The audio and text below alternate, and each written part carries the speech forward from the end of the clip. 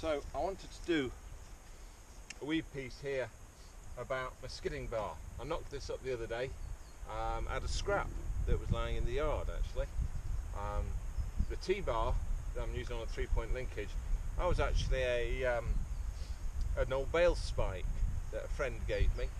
Um, but because this top piece is so short, when it goes down, the top link pushes it over and it basically tips your bale off. So it was no use for a bale spike and it had been thrown on the scrap heap. And uh, I've been skidding my logs out, just dragging them with straps and chains.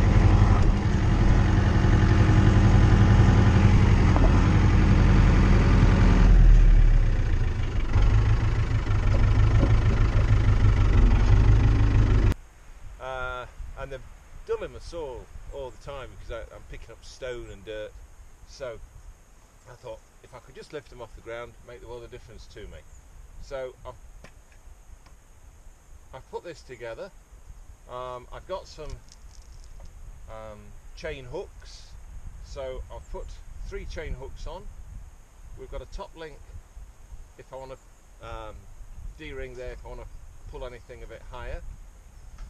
I've got my hook link there and with the use of this chain um, I found that I can pull out three three trees at a time, three logs at a time anyway.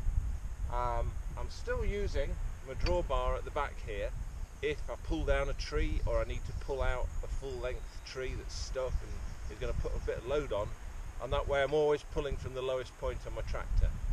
So I still use that for um, the heavy work and then up to three up to three decent sized logs. I had some like 30 footers on here. Just fine. Just here I've got a two inch ball um, tow hitch. And the reason that's there is well I found this in the shed as a single piece.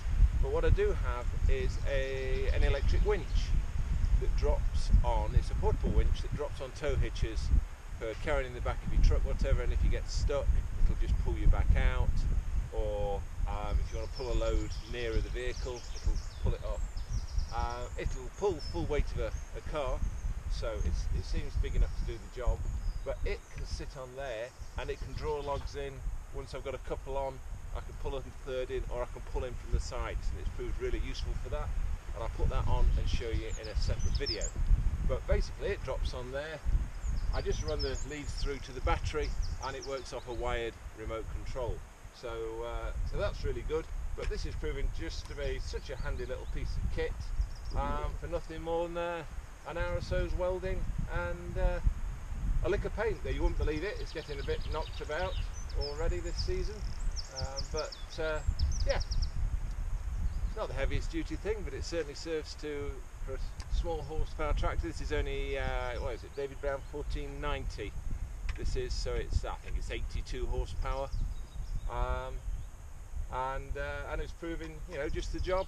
Gets the front ends off. They're only dragging on that little bit at the far far back. Um, and it's saving my saws and it's saving the timber a bit